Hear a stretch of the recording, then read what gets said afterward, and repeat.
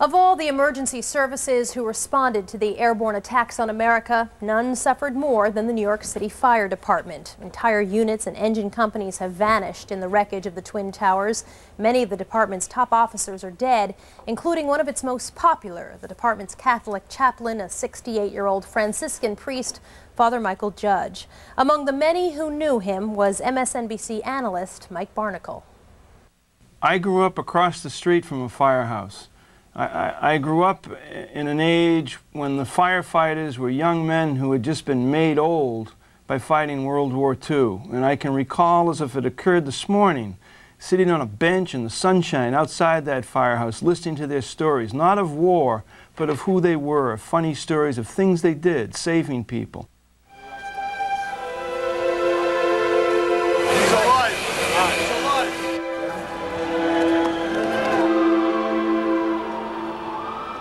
Firemen started coming up into the building.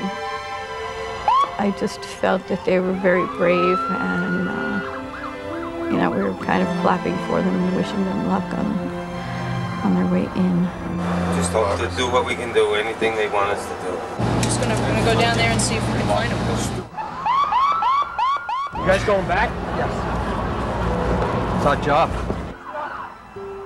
Out of the ashes and the violence in New York City this week, there were many stories of hope, many stories of faith for the future that we can cling to.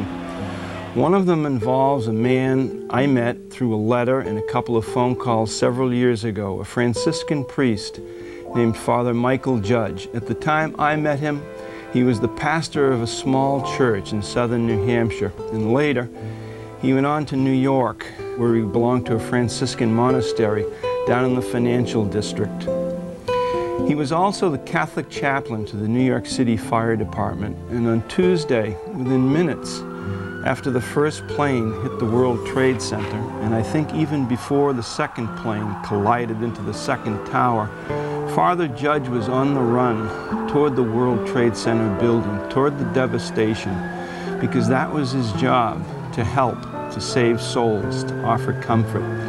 And there, later in the day, Tuesday, in the rubble of the World Trade Center, while Father Judge was providing the last rites to the dead and the dying, he was struck by a woman who fell from above and landed on him, killing him. The firefighters, the rescuers present at the time, took his body, removed it from the rubble, and put it on a makeshift stretcher that they carried through the streets of lower Manhattan, through the dust and the debris, through the ashes that looked like fallen snow.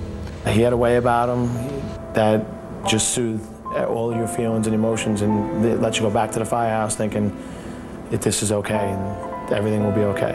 He was a great man. They brought his body back to St. Peter's Church. There, they laid the body on the altar. They cleansed it, wrapped it in a sheet, and brought it once again out into the streets, where they took it to the firehouse directly across the street from the Franciscan monastery where Father Judge had lived. In a time like this, Father Mike would be the one we would all turn to, and they took him from us. It's very, very hard right now. And there, in that firehouse, firefighters and priests alike, firefighters, men of all denominations and all colors, said a prayer and sang a song of peace for a priest who offered hope and consolation to those who were dead and those who were dying. And so in the name of Father Judge and all the others who helped rescue people in New York this week, who helped save souls in New York this week, who helped save the country in New York this week, we say, God bless you, Michael Judge, and God bless America.